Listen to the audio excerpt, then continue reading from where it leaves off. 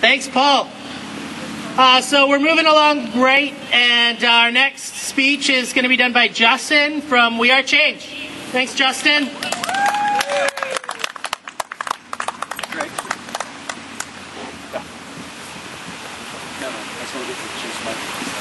I'm a Sasquatch, so I need it up a little higher than uh, some of our vertically challenged uh, Get close. friends here. Good afternoon, Victoria. Are we feeling free yet? No? Would you like to know how you can get free? Let's have a show of hands. How many people here today know that we have a constitution? Okay, a few do. How many people have read our Constitution? Okay, not quite as many. Did you know that our constitutional, uh, sorry, did you know that there are constitutionally guaranteed unalienable rights in our constitutional constitution that are being trampled daily by the governments and agents of Canada? One of the keys to freedom is knowing what your rights are and how to enforce your God given, constitutionally guaranteed inherent rights. There are two very important sections of our Constitution that I'd like to bring out to you today. One is found at section 52, where it states, The Constitution of Canada is the supreme law of Canada.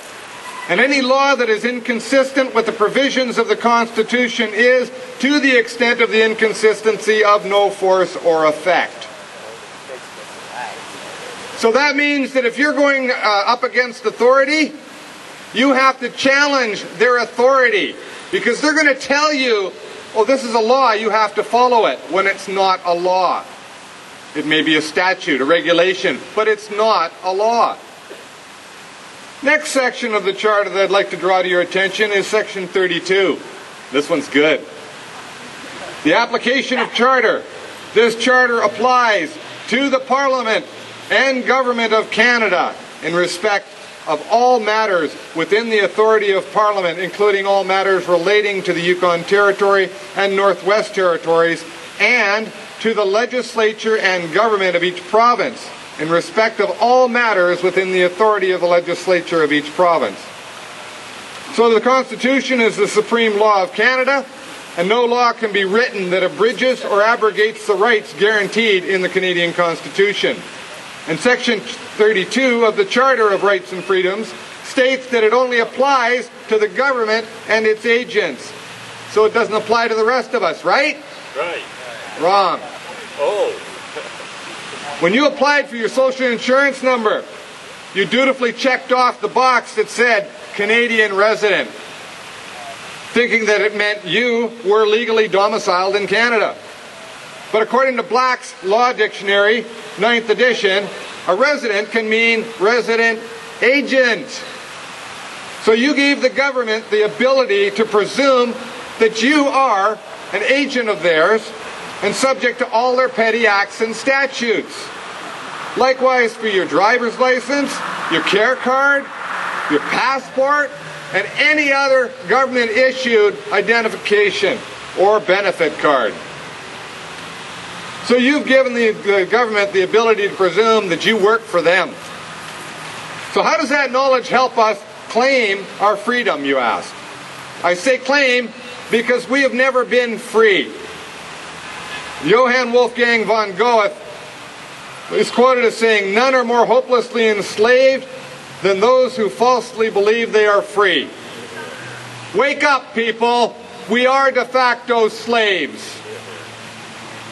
So we have to claim our freedom by learning what our rights are and not be afraid to stand up for our God given, unalienable, inherent rights and know that we have been lied to, we have been bullied, and we have been robbed by the so called authorities and call them out for the criminals that they really are. The powers that be are quickly becoming the powers that were. And they will try to tell you that it is law until you push back and say, no, I do not consent. Then they back down and go away, but not before. Take back your power by standing up to the tyranny that is our present reality. Look around the world, you can see it for yourself. Stop watching TV. That zaps your power. The world over, people are not free. Yet the people of Iceland took back their financial freedom by jailing the criminal politicians and the banksters. And they told the international banksters to take their fraudulent derivative debt and stuff it. The country of Iceland is on a better footing economically than any other country in the world. We have to do the same thing. So get to know and stand up for your rights. They're in our Constitution. They're in our Charter and Rights and Freedoms. We have the right to travel. We have the right to commerce. We have the right to be free of being molested by the government and its agents. If you see someone being harassed by the so-called authorities, get out your damn camera and start videotaping it because you might be the next one that's being harassed by the so-called authorities and maybe somebody will haul out their camera and record what they're doing to you. We have to stand together to fight tyranny whenever and wherever it rears its ugly head. So in closing, I'd just like to say, wake up, know your rights, learn how to enforce them. And a good way to learn is to come out to our We Are Change Victoria meeting every Sunday night at 7 p.m. at Gorgeous Coffee on Gorge Road at Tillicum. We're also doing video screenings at the same location. Check it out at wearechange.org. Uh, sorry, wearechange.victoria.org or our We Are Change uh, Victoria Facebook page for times and what's being shown. So enjoy the rest of today. Hopefully Mother Nature gives us a bit more sunshine and uh, be free.